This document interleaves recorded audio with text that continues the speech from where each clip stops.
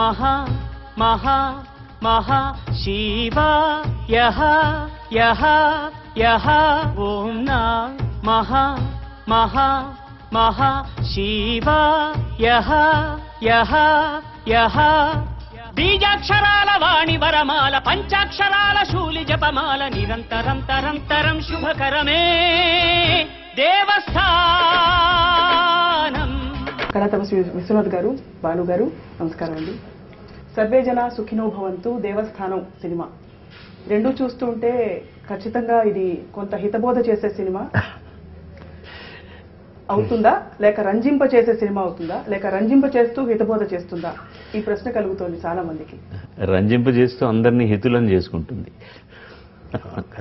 ఇందులో ఎవరికి ఏమి సందేశాలు ఇవ్వడాలు అలాంటివి అలాంటి సినిమా కాదండి. ఇట్స్ మిగతా సినిమాలతో పాటు ఇది కూడా ఒక ఒక కథ కమామిష్తో జరిగేటటువంటి మంచి వస్తువు ఉన్న సినిమా మంచి కథ ఉన్న సినిమా. బీజాక్షరాల వాణి వరమాల పంచాక్షరాల శూలి జపమాల నిరంతరం తరంతరం శుభకరమే దేవస్థానం. దేవస్థానం అనగానే ఇదేదో శిల్పకళలకు సంబంధించిందో లేకపోతే విశ్వనాథ్ గారు వీళ్ళు ఉన్నారు కాబట్టి నృత్యాలకు సంబంధించిందో అని అనుకో ప్రతివారు దేవాలయానికి వెళ్ళాలి. లేకపోతే దేవాలయం బాగుండదు. ఏంటి? తత్వాలు అలాంటివి? కాదు. అలాంటివి కాదు. మంచి కథ. ఒక దేవాలయంతో ముడిపడ్డ కథ. ఎందుకంటే ఒక వ్యక్తి దేవాలయంలో పనిచేస్తుంటాడు ఒక వ్యక్తి దేవాలయానికి వెళ్తాడు అంతే. ఒక మంచి కథ. మంచి కథని అందంగా చెప్పబడింది. శ్రీమన్నారాయణ. ఈయనకు దేవస్థానమే ఇల్లు. సాంబమూర్తి. ఈయనకు ఇల్లే దేవస్థానం. బీజాక్షరాల వాణి వరమాల పంచాక్షరాల శూలి జపమాల నిరంతరం తరంతరం శుభకరమే దేవస్థానం. ఈ సినిమాకి పద్మనాభ స్వామి ఆలయంలో జరిగిన విషయ విశేషాలకి ఏ సంబంధం లేదని కూడా అలాంటిది ఏం లేదు. ఏ సంబంధం లేదు. ఆ, ఇది ఎలా చెప్పాలో ఇది పొగడత కాదు సార్ కానీ ఆకాశం సముద్రం కలిసిన ఒక అరుదైన సందర్భం ఈ సినిమా దేవస్థానం. మీరు బాలు గారు కలిసి పనిచేయడం ఉన్నది మరి ఆకాశం సముద్రం కలిసాయంటే ఖచ్చితంగా ఏదో ఒక చాలా పెద్ద విషయం ఉంటుందని ఒక ఎక్స్పెక్టేషన్ ప్రేక్షకుల్లో ఉంది. ఈ సినిమాని మీరు బేరీజ్ వేస్తున్నప్పుడు లేక దాన్ని ఒప్పుకున్నప్పుడు ఎలాంటి సందేహాలు మీకు కలిగాయి? బాలుగారు ఒప్పుకున్నారని మీరు ఒప్పుకున్నారా? మీరు ఒప్పుకున్నారని బాలుగారు ఒప్పుకున్నారా? ఇద్దరు ఒకసారి ఒప్పుకున్నారు? మీరు చెప్పిన ఉపమానానికి మీరు ఏం సునామీ లాంటిది ఏం రాదు.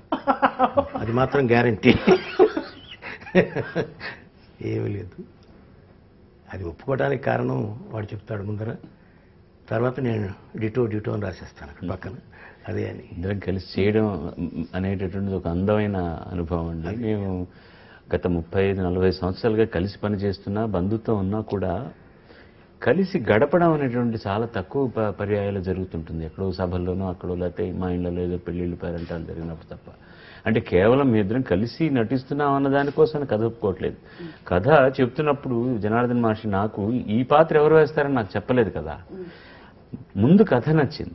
కథ నచ్చింది ఇది ఇది నా- ఒక డిఫరెంట్ సార్ట్ ఆఫ్ ఫిల్మ్ నేను ఎన్నోసార్లు చెప్పినట్టుగా ఇది ఇది నాకు ప్రవృత్తి నిజం చెప్పాలంటే వృత్తి కాదు వృత్తి పాటలు పాడడమే.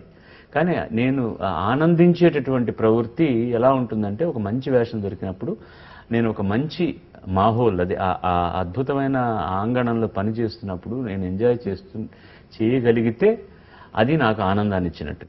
గుణనుతి చేతును గణనాథ ప్రణతులు చేకొను ఘనవరద. అవరోధ శతము నణచు సదా అనింజవాహన అభయప్రద. గమగ జగని గుణనుతి చేతును గణనాథ.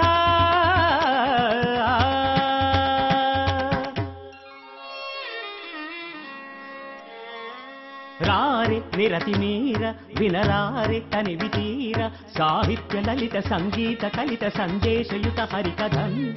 సంతోష రుచిర చాతుర్య ప్రచుర సల్లాప సుధర వసుధం. పంచంగ భాగవతులుచ్య పంచపూమాల చిడత ధతతో పాపాయి మొదలు వయసైన ముసలి భాగం. ఎందుకంటే సినిమా జాతకానికి దానికి సంబంధం లేదు. సినిమా జాతకం జనం చేస్తారు. మనం పని చేస్తున్నంతసేపు ముందు దాన్ని ఆస్వాదిస్తూ అందంగా పని చేసుకోవాలి అతను చెప్పిన తీరు కథ పాత్ర అన్నీ నచ్చాయి. ఇతనితో చక్కగా పని చేసుకోవచ్చు అని నమ్మకం కలిగింది. తర్వాత ఈ పాత్ర విశ్వం గారు చేస్తున్నారని అనగానే ఆనందం ఇంకా ద్విగుణీకృతమైంది. అక్కడ స్వార్థం కూడా పనిచేసింది. ఏంటంటే ఒక మంచి సినిమాలో పనిచేస్తున్నాం మంచి పాత్ర నాకు ఒక మంచి రికగ్నిషన్ వస్తుంది అని. రెండో స్వార్థం ఏంటంటే అన్నయ్యతో కలిసి దాదాపు ఇరవై రోజులు ఆనందంగా మేము కబుర్లు చెప్పుకుంటూ ఈ పాత్రల్ని దీన్ని అలాగా ఎలా పాత్రలు పొదువుకున్నామో దాంతోపాటు దీన్ని కూడా ఎలా డెవలప్ చేసుకుంటూ పాత్రలను కూడా వెళ్ళొచ్చు అనేటటువంటి ఒక స్వార్థం. రెండు కూడా it worked out and we enjoyed. Sambayya Somayya Lingayya Mahashiva.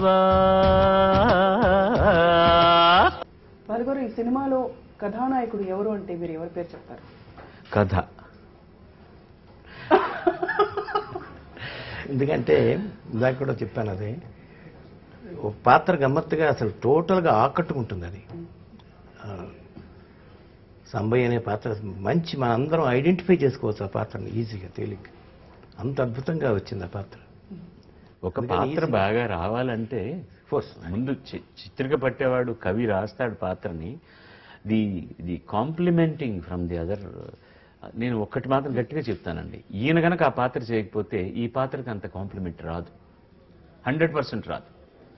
It it it depended so much on this ఆయన చేయడం వల్ల డైరెక్టరు మీ ముగ్గురం కలిసి వర్కౌట్ చేయడం వల్ల కొన్ని వచ్చాయి. మరొకరు చేస్తే ఇంకో విధంగా ఉండి ఉండొచ్చు వ్యక్తిగతంగా మీకున్న పరిచయం మీకున్న సాన్నిహిత్యం కూడా కొంత hundred? Percent. Hundred percent work. ఒకళ్ళ మీద ఒకళ్ళకున్న నమ్మకం గౌరవం ప్రేమ ఇవన్నీ కూడా పనిచేసాయి మనం బౌ ఇట్లా బాల్ వేస్తే బౌన్స్ అవ్వాలి కదా మళ్ళీ.